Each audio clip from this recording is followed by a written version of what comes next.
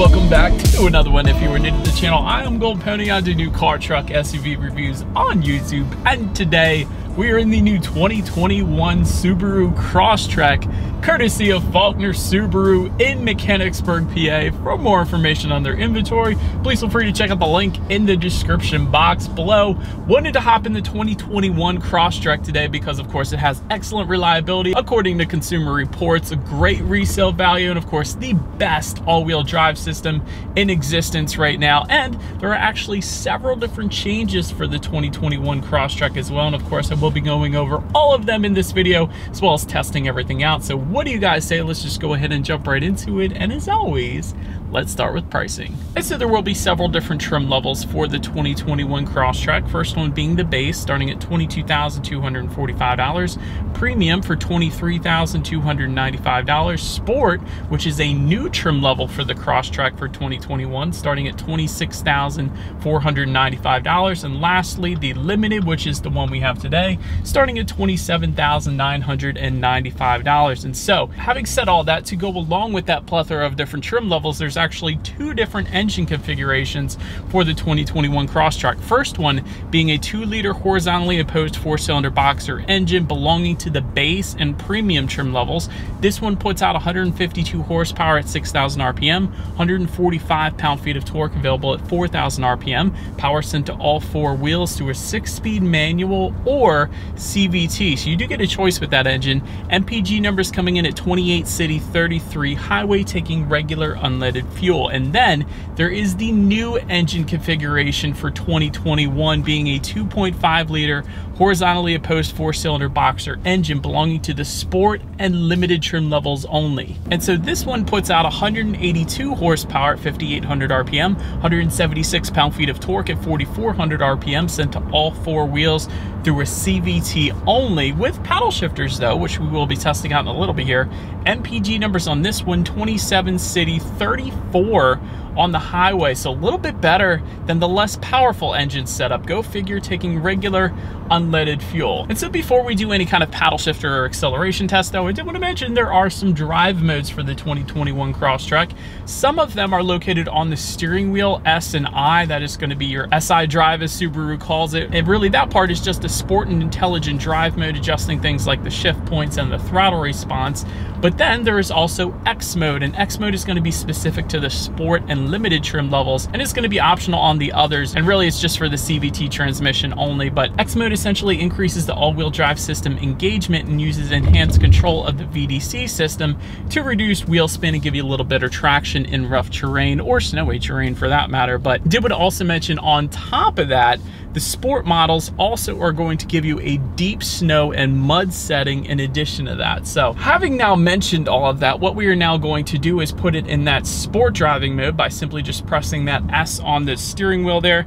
And then I'm going to slide the shifter all the way to the back and to the left. And let's test out the paddle shifters now. Just want to see how quickly they're going to react for us. Although it is essentially simulated shifting, this is a CVT. Still nice to have them. So let's go ahead and give that a shot here. All right, you guys, in three, two, one. Here we go.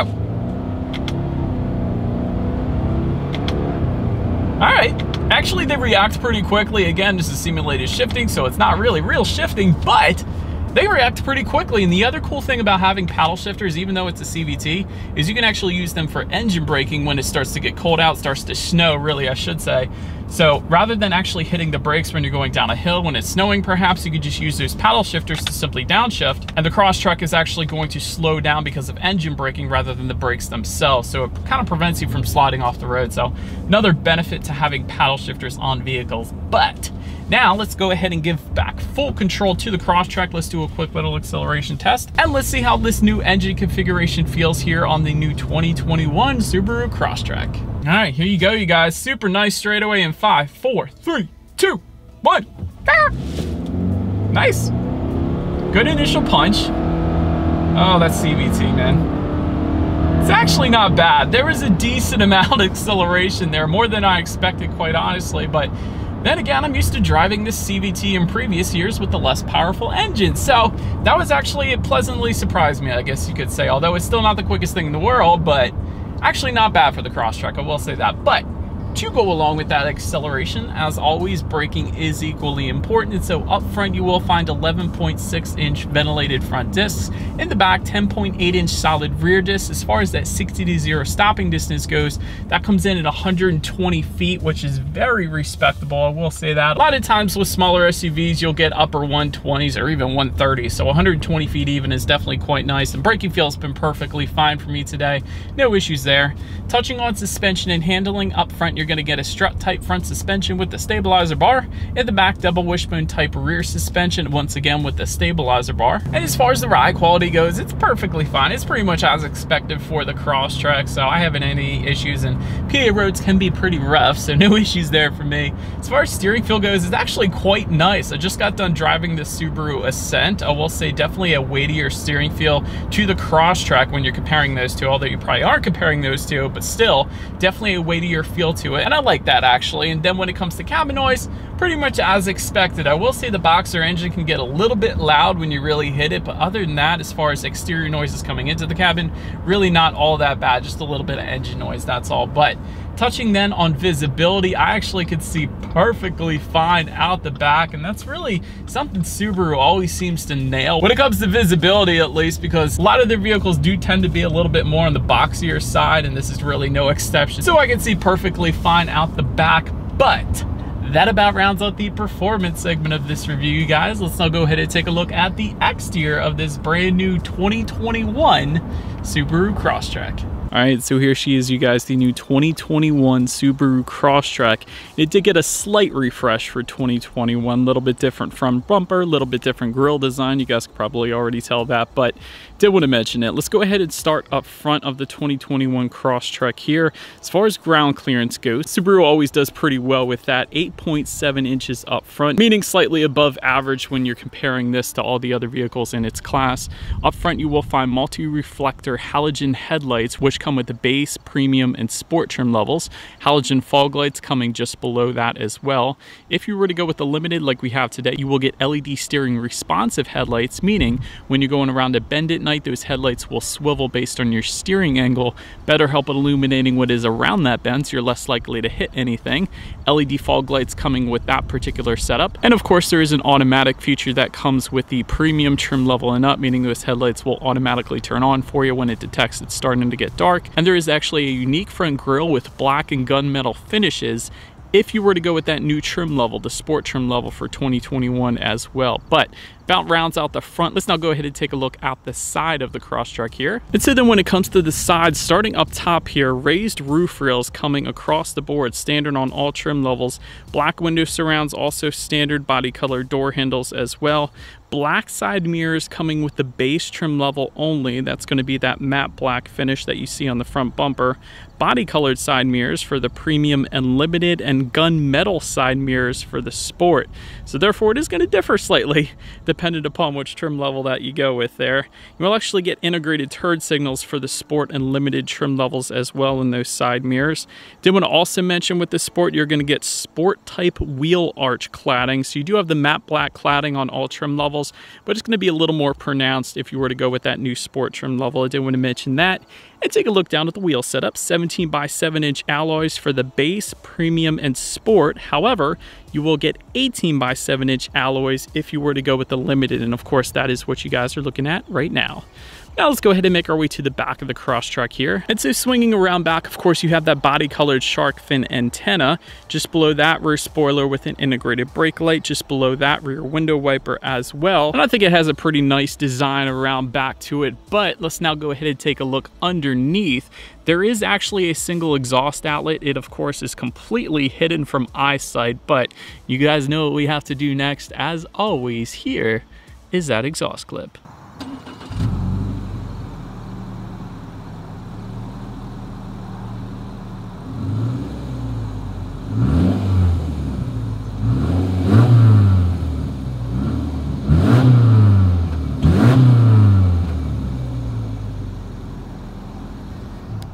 So, but now since we are around back of the Crosstrek, when it comes to opening that rear hatch, there is a button to unlock it on the key fob itself. There's also a button on the hatch itself, but either way, it is a manual lift gate, so simply just lift up underneath there, go ahead and open it up. Once opened up though, cargo capacity comes in at 20.8 cubic feet, behind that second row seat, I should say, with the rear seats folded down, that comes in at 55.3 cubic feet. There, of course, is a 60-40 split.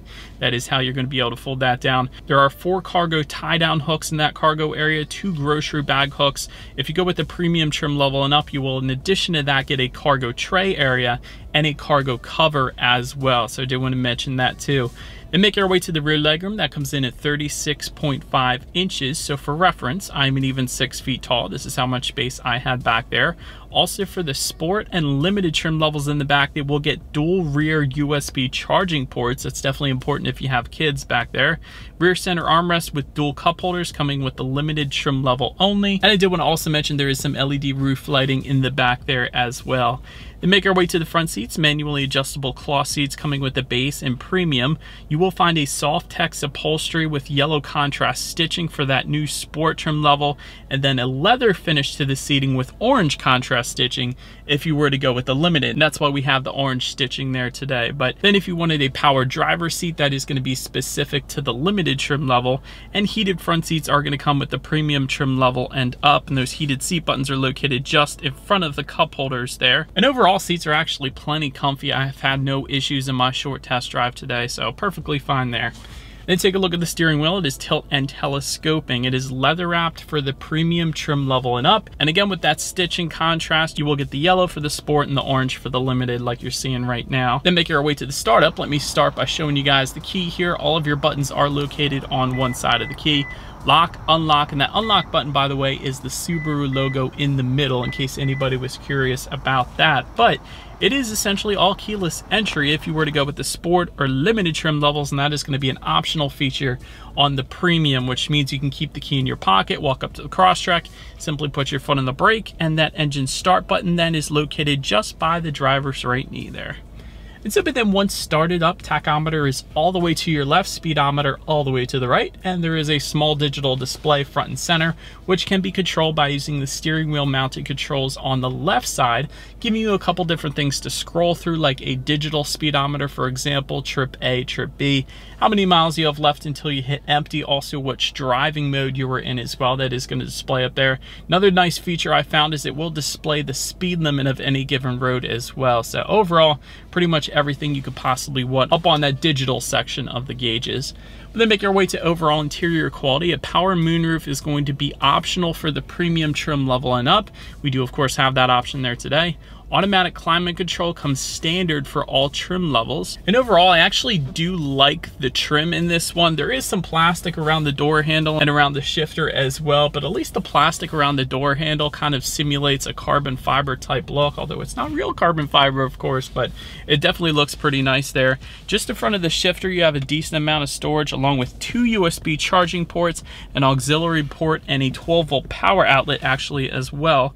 Just behind the shifter, you have your X mode button, of course, along with the heated seat buttons and dual cup holders.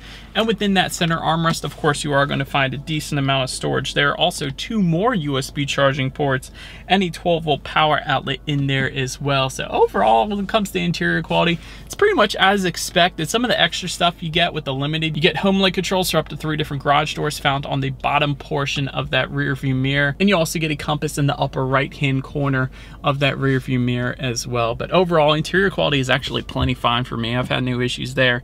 Taking a look now at the tech display, there's actually two of them. When it comes to the top one or the smaller one, you can actually adjust what is on that top display by simply just pressing the info button on the left side of the steering wheel there. But that's gonna give you things like what day of the week it is, actual date itself, there's your outside temperature, there's safety information, your approach angles, which I thought was pretty cool. We are kind of in an off-road vehicle, so I like seeing that.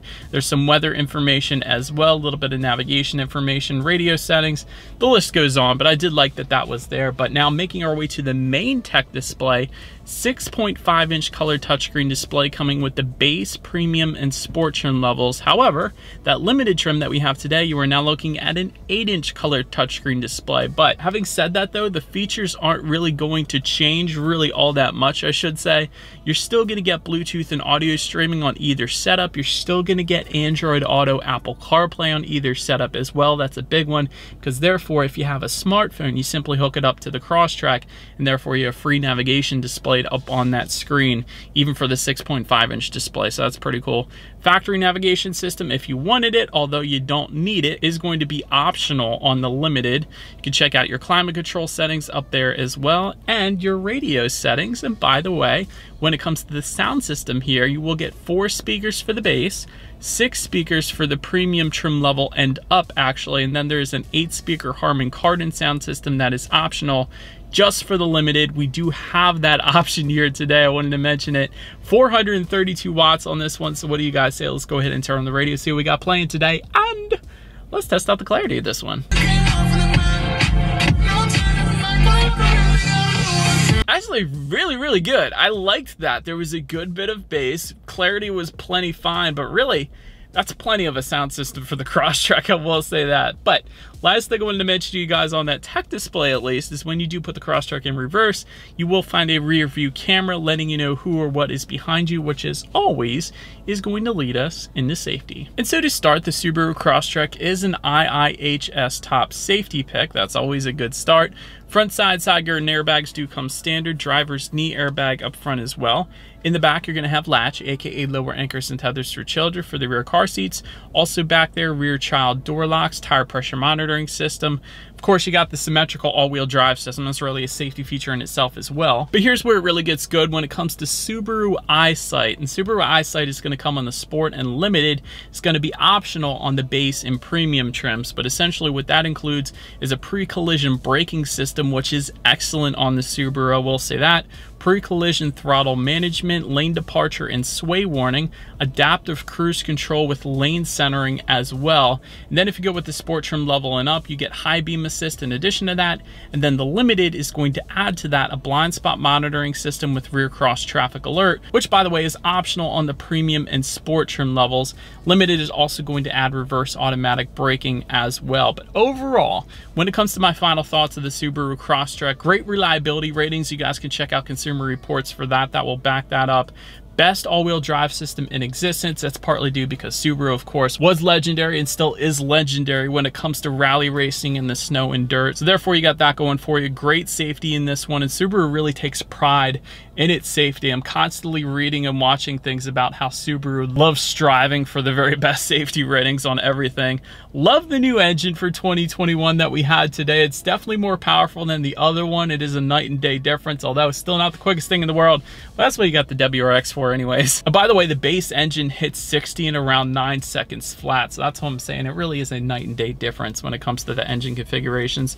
Very practical cabin here. I like the layout. I love the orange stitching. I'm sure I would have loved the yellow stitching in the Sport as well, but overall, an extremely solid pick here when you put all that together. But let me know what you guys think of the Crosstrek in the comments section below that is about it for this one, you guys. Thank you so much for watching. Feel free to follow me on social media at the bottom of the screen there if you like. Be sure to hit the subscribe and the bell notification button if you're into new car reviews. That is what we do here on this channel after all. Do appreciate you guys watching more than you know, and I will see you guys all in the next video. Stay gold.